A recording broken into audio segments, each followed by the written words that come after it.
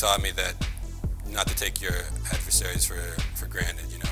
You give them that inch and they'll capitalize on the chances that they have.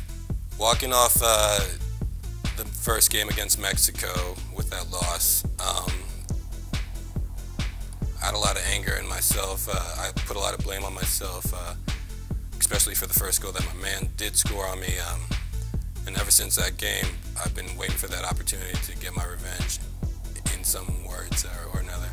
revenge on Mexico. So this, uh, this Saturday should be a good test for our team, but for me as well. Let's do this.